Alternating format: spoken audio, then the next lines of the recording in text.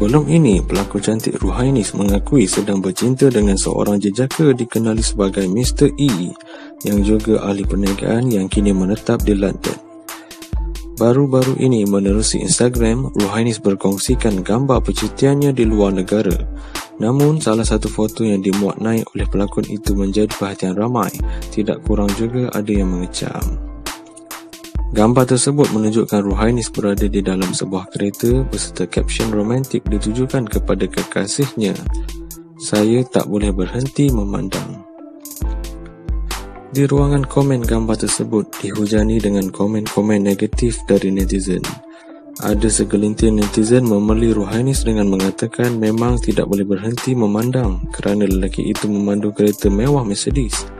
Cuba kalau jika lelaki itu memandu kereta Saga atau Viva. Tidak kurang juga ada yang menyuruh pelakon itu agar mencari harta sendiri dan tidak berharap pada lelaki sahaja. Bagaimanapun, rata-rata pengikutnya mendoakan kebahagiaan Ruhainis dan semoga hubungannya dengan kekasih berkekalan sampai ke jenjang pelamin.